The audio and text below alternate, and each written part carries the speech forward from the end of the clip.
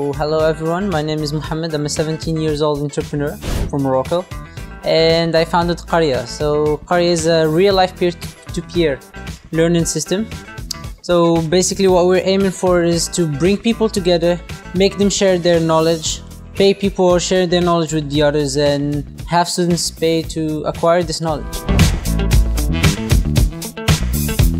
What we need the most right now is your brains. We're launching on the weekend of the 29th, 29th the Saturday 29th uh, of May.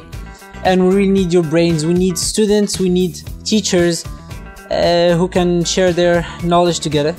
So all we need is you people. Well, my answer to, to this question is going to be separated into two parts. How I'm going to change change my world. I I'm really I'm one of Quarya's early customers as well. So I'm really waiting for our lunch so that I can learn from others. And that's how I'm gonna change my world. The way I want to change the entire planet is to make people become more social, leave their computers and you know discuss with others who share the same interests, chit chat and share knowledge between each other so that we can create a collective knowledge, you know, have have the planet have a collective brain. Well, my dream is one day to travel to, I don't know, somewhere really far. Laos, India, I don't know what, Australia, and find people sitting in a garden, you know, talking about this ad that's called Quarya and, you know, chit chatting with each other, sharing knowledge with each other. You know, I really want to see a Quarya course in one year or two in Australia or I don't know where.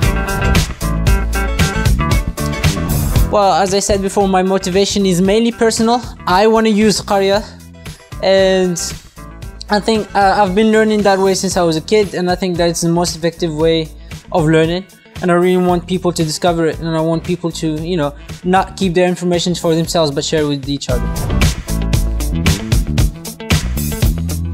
When you become an entrepreneur, you don't really have much time for your friends anymore. You start losing, well, you don't really lose friends, but you start losing contact with some friends, which is a bit hard seeing that I'm a, you know, I'm still a kid and yeah that's what my friends think of me. They think that I changed but I promise I didn't.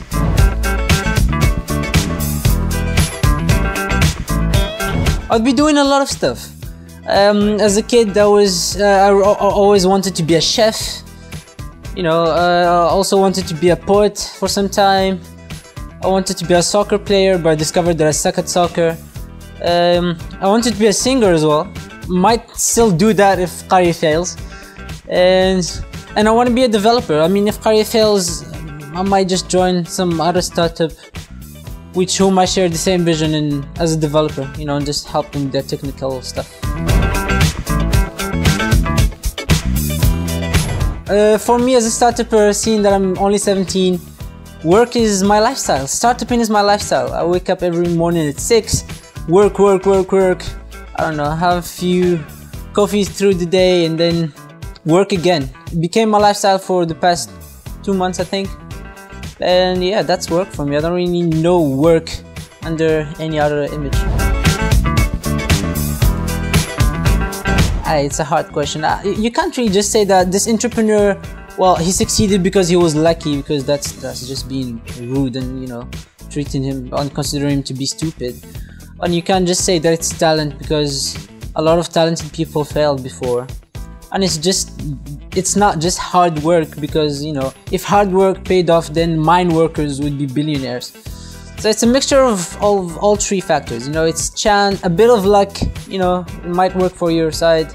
It's a lot of hard work and it's a lot of talent but it's also you know understanding how how stuff works understanding your clients getting to know your clients loving your product and you know putting a lot of hard work into it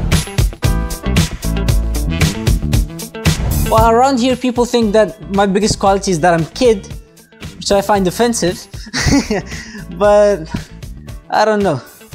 I leave it to other people to judge myself. I don't really judge myself.